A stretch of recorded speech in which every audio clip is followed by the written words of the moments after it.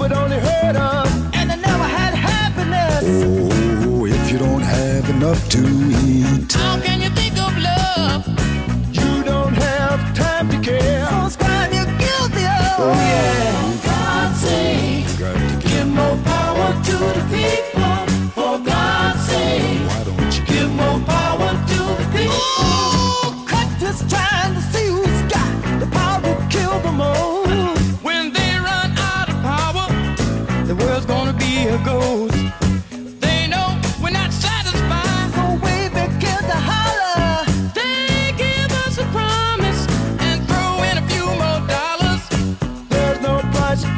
happiness.